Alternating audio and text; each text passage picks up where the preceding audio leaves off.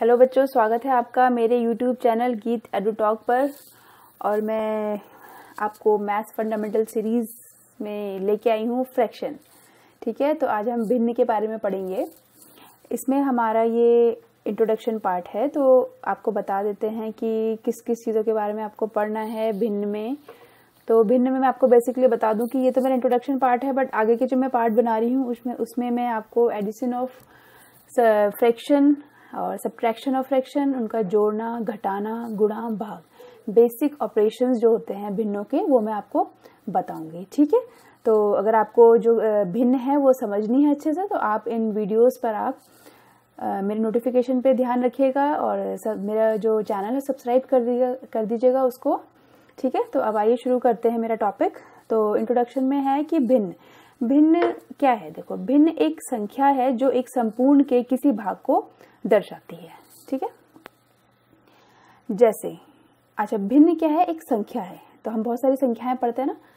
ठीक है, पूर्ण संख्या, परिमेय संख्या, अपरिमेय संख्याएँ, पूर्णांक तो भिन्न भी एक संख्या है जो दो, जो पूर्ण संख्याएँ होती हैं, उनके भाग से बनती है, ठीक है? मतलब अगर आप एक अंश में लिख देंगे और दूसरी पूर्ण संख्या हर में लिख देंगे तो उससे भिन्न बनती है। ये तो थोड़ी सी एक वैसी डेफिनेशन हो गई है। इन जनरल डेफिनेशन है कि भिन्न एक संख्या है जो एक संपूर्ण के किसी भाग को दर्शाती है। जैसे कि मैंने ये एग्ज़ाम्पल दिया है। आज मैंने आधी रोटी खाई, ये हम डेली बोलते हैं, ठीक है?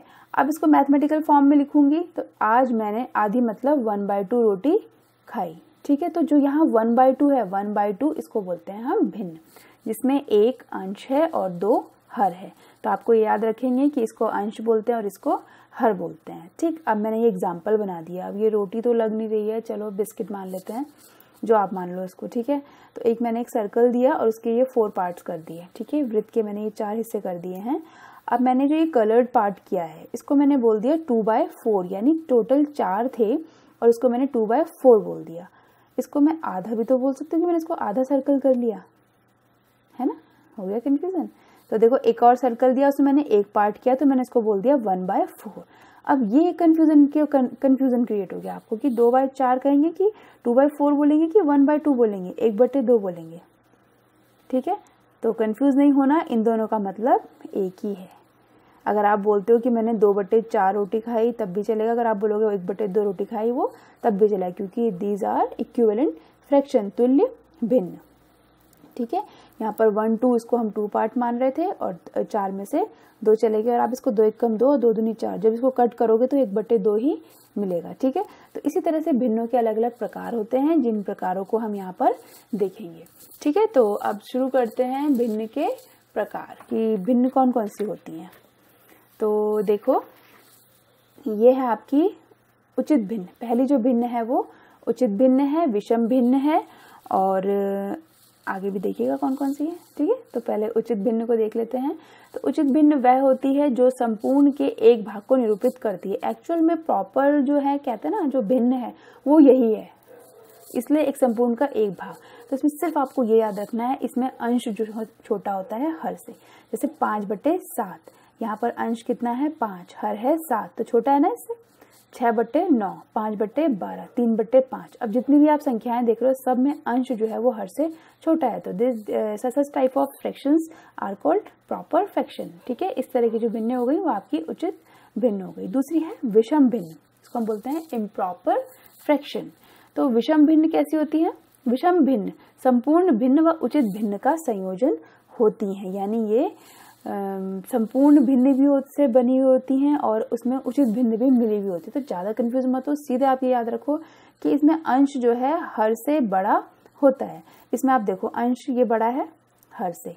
अंश बड़ा है, हर से। अंश बड़ा है, हर से। अंश बड़ा है, हर से। ठीक है? तो उचित भिन्न आपको समझ में आ गई इसमें अंश छोटा होता है और इसमें अंश बड़ा होता है।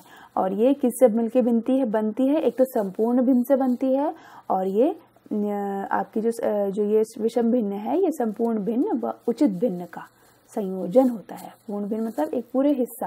जैसे बोलते हैं ना, मैं डेढ़ रोटी खाती हूँ तो मैं एक रोटी खाती हूँ, यानी पूर्ण हो गया, पूर्ण, संपूर्ण भाग हो गया और उसका आधा हो गया, ठीक है? तो इसके संयोजन से मिलके बनता है। तो आगे जब आप करोगे तो और क्लियर होगा थोड़ा सा, ठीक है?